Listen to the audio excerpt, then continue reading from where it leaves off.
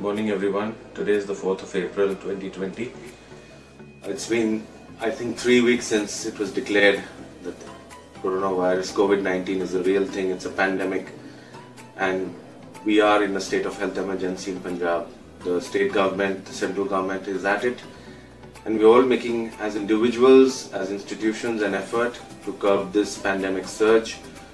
Let me tell you something, we need not panic. We are all health workers. Being a doctor, the first thought which comes to me, how do I protect myself? How do I save myself? So, I would like to tell you is that you need not worry. Follow the guidelines which have been laid down, and it is stay home, stay safe.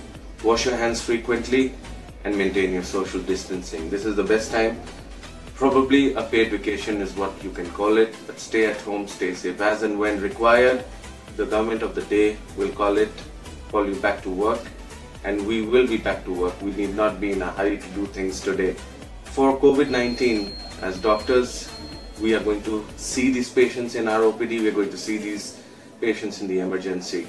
Being the head of emergency and trauma services, it is imperative that we see that we protect our health personnel, our nurses, our doctors, all the employees who work there.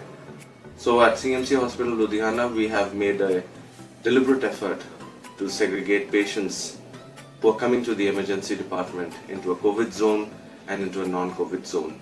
The non-COVID zone will include all the general emergency and trauma patients who are screened by a doctor at the admission site who will then fill up guidelines or a form which is based on the CDC guidelines screening these patients having the least chance of having clinical COVID-19 disease and these patients will be sent to the general emergencies.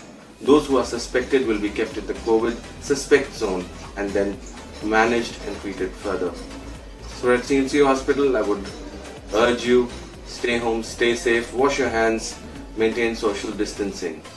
One more concern is about using masks. If you're directly related with treating patients who are COVID-19, you need an N95 mask. You need the PPE. Other than that, I think maintaining distance, washing hands and staying at home would be good enough.